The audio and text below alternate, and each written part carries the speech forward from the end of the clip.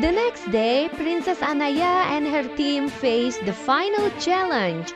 They had to play against the team from Kingdom of Engla, who were the defending champions. They were a formidable team with excellent players and a lot of experience. They had beaten every team they faced. Anaya and her team knew that they had to play their best, and they did.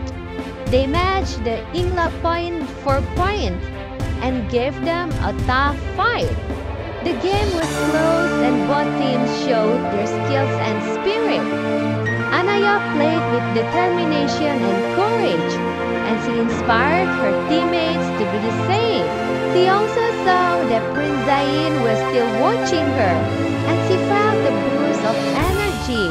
She wanted to win the game and the trophy, and Prince Zain heart